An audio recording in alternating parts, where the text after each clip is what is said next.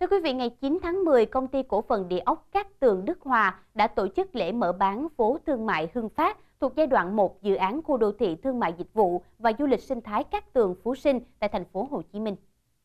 Phố thương mại Hưng Phát gồm các căn biệt thự đơn lập và song lập, trong đó những căn nhà phố có diện tích nhỏ được thiết kế thanh lịch hiện đại, phù hợp với các gia đình một thế hệ và các bạn trẻ thích tự do. Những căn có diện tích lớn hơn được thiết kế và bố trí tận dụng mọi không gian phù hợp cho các gia đình nhiều thế hệ hoặc các gia đình muốn kết hợp kinh doanh ngay tại nhà.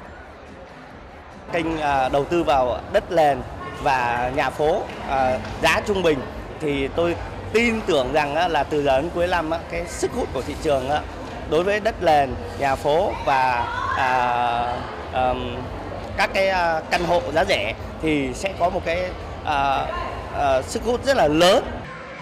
các nền nhà phố thương mại Hưng Phát được chào bán với giá từ 268 triệu đồng một nền. Đợt mở bán này có hơn 300 sản phẩm với lịch thanh toán linh hoạt chia làm nhiều đợt trong 12 tháng không lãi suất.